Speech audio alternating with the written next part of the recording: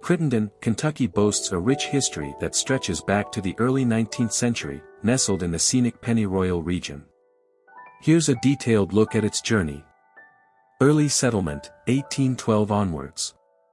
The exact date of the first settlements in the area is debatable, with some sources suggesting it could be as early as 1812. These pioneers likely came from neighboring states, seeking a new life in the fertile lands along the Ohio and Tradewater rivers. Pin Hook and the Rise of a Community, early 1800s. Before its official name, Crittenden was known as Pinhook. The reason behind this name remains unclear. Despite the lack of a formal designation, the community was clearly growing. There's evidence of a ferry established at Flynn's Landing, highlighting the importance of transportation across the river. The Crittenden era, 1834 onwards. A significant turning point came in 1834. The town was officially renamed Crittenden, honoring Kentucky statesman John J. Crittenden.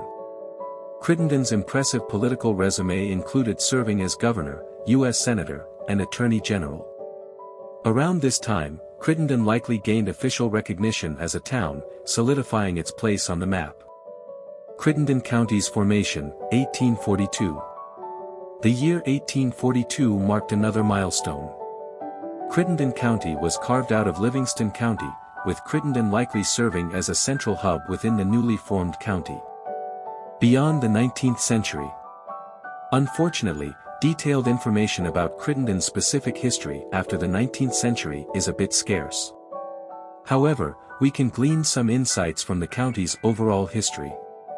Crittenden County, like many rural areas, likely experienced a period of growth and development in the early 20th century, followed by challenges and changes in the latter part of the century.